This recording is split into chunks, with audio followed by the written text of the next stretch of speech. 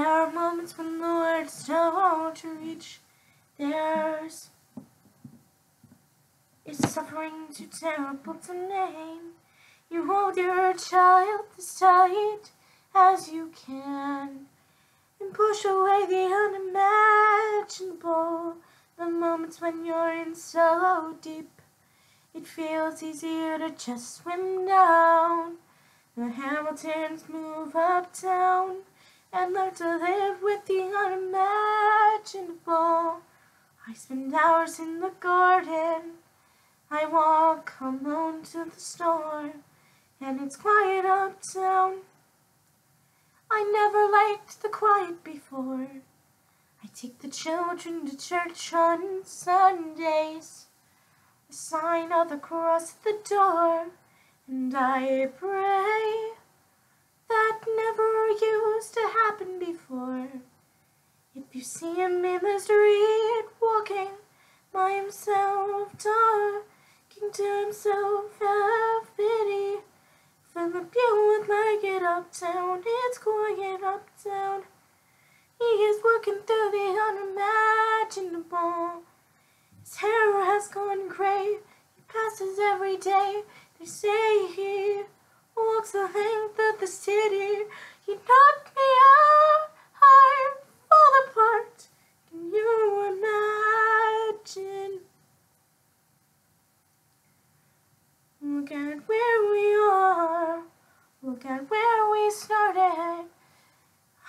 I don't deserve you, Eliza.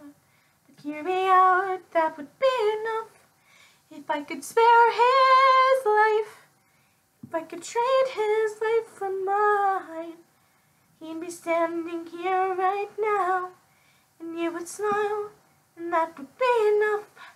I don't pretend to know the challenges we're facing.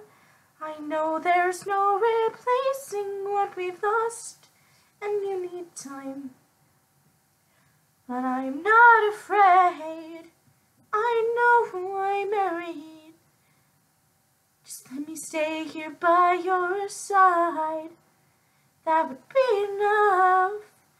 If you see him in the street, walking by your side, talking by your side, have pity. Eliza you like it uptown, trying to do the unimaginable. See them walking in the park, long after dark, taking in the sights of the city. Look around, look around, Eliza. There are moments they are trying to do the unimaginable. There are moments that the words don't reach. There is a grace too powerful to name. We push away what we can never understand. We push away the unimaginable. They are standing in the garden, Alexander by Eliza's side. She takes his hand.